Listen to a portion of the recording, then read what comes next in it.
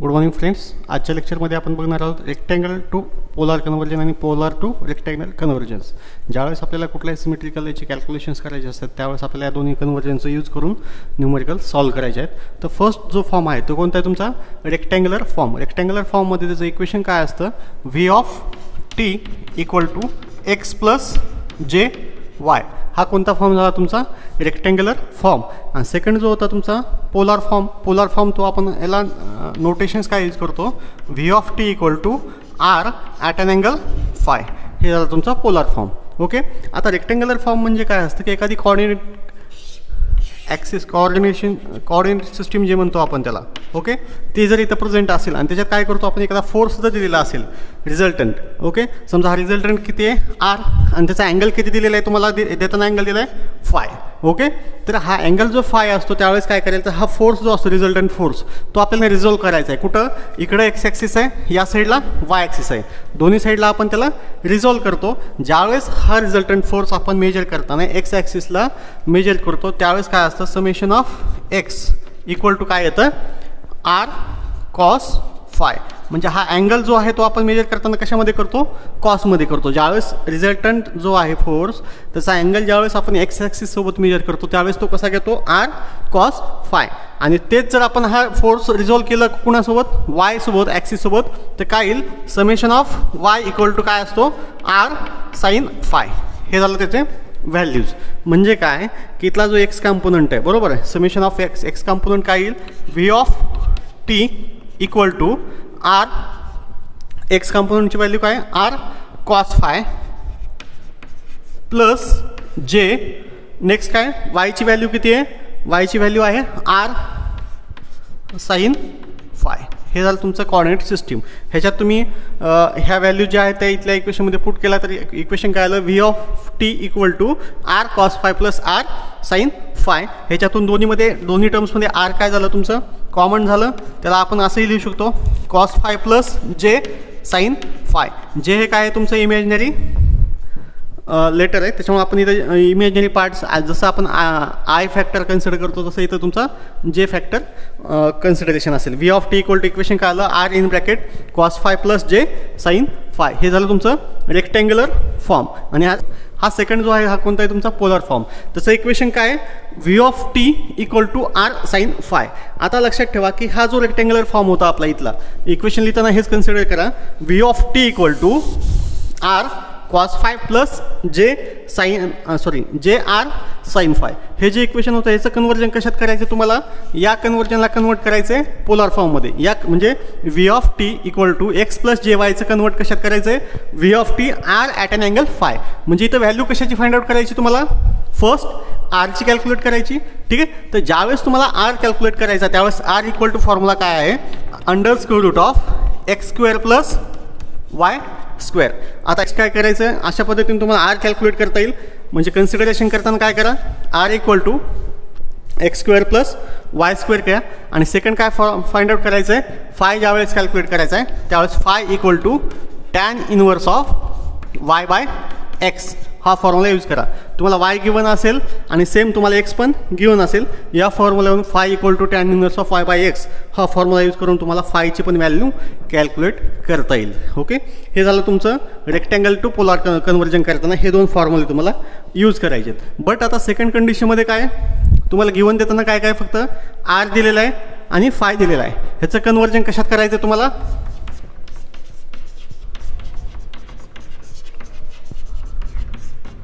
Rectangular फॉर्ममध्ये आता rectangular form कोणता असतो?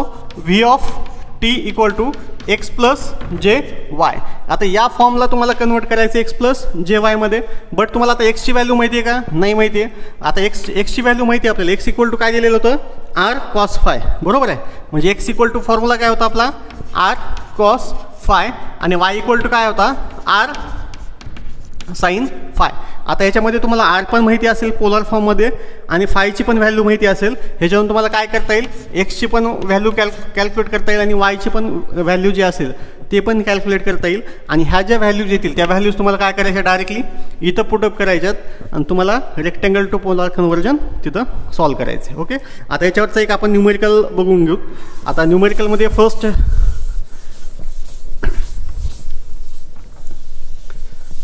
एक्झाम्पल याच्यावरचं एक बघू आपण. फर्स्ट आहे समजा एक फॉर्म दिलेला आहे तुम्हाला एट प्लस जे सिक्स हा फॉर्म दिला आहे आणि याला काय सांगितलं तुम्हाला? कन्वर्ट इन पोलार फॉर्म आता हा गिवन फॉर्म कशामध्ये तुमचा? रेक्टँग्युलर फॉर्ममध्ये कशामुळं?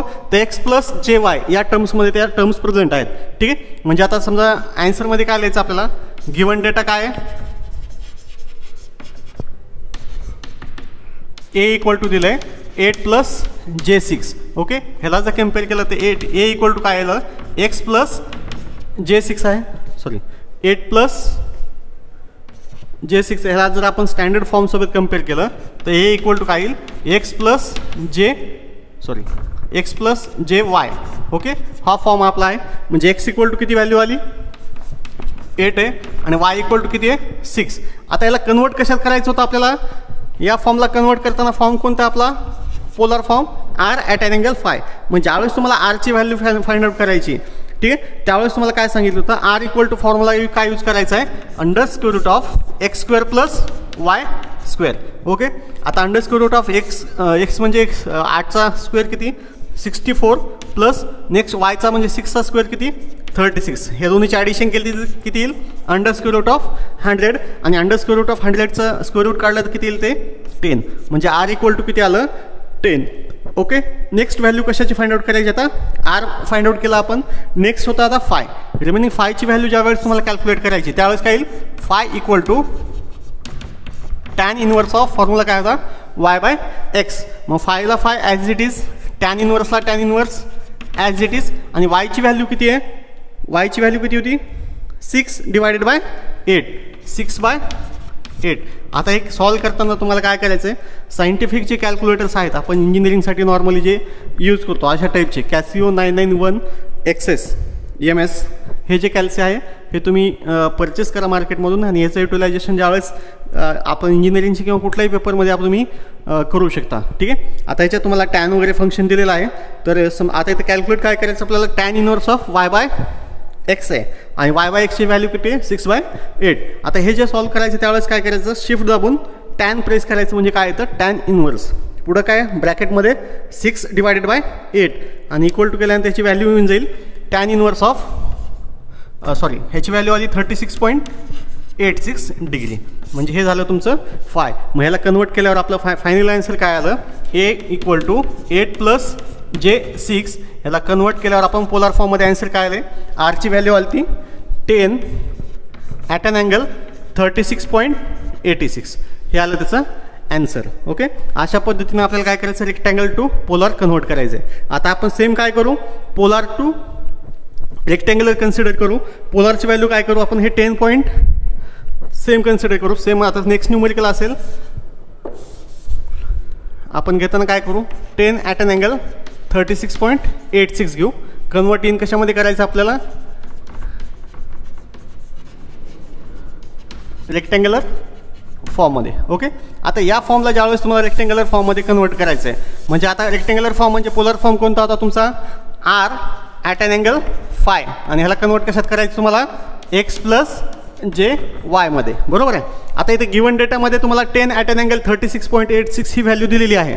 बरोबर आहे? म्हणजे आर इक्वल टू किती झालं? व्हॅल्यू आली ten and phi equal to किती व्हॅल्यू आहे? Thirty six point eight six जर हे दोन इक्वेशन्स आपण कंपेअर केले तर. याच्यावर काय करायचं आहे नेक्स्ट आता एक्स फाइंड आउट करायचं तर एक्स कंपोनंटच्या वेळेस एक्सचा फॉर्म्युला काय होता? एक्स इक्वल टू काय घेत होतो आपण?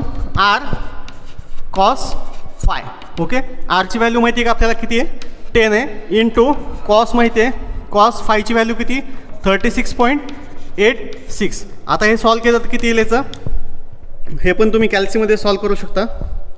Ten into cos thirty six point eight six okay हे सॉल्व केल्यावर ह्याची व्हॅल्यू किती आली? Eight point zero zero one zero okay हे झाला एक्स कॅम्पोनंट आता नेक्स्ट काय करायचं होतं? आपल्याला वाय कॅम्पोनंट फाइंड आउट करायचा आहे. वाय इक्वल टू फॉर्म्युला काय होता? आर साईन फाय आणि आर इक्वल टू काय? साईन फायच्या इथे काय आरची व्हॅल्यू परत किती होती आपली? Ten point ten into sine आणि फायची व्हॅल्यू होती thirty six point eight six okay हे परत सॉल्व केल्यावर किती येईल?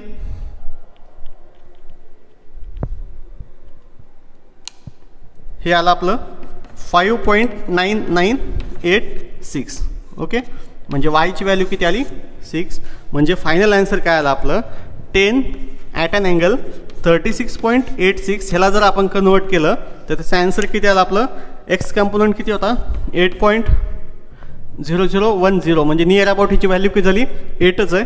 प्लस जे नेक्स्ट वाय कंपोनंट किती आहे? Five point nine nine eight six म्हणजे हे पण ॲप्रो ॲप्रॉक्सिमेट किती आहे? सिक्स आहे.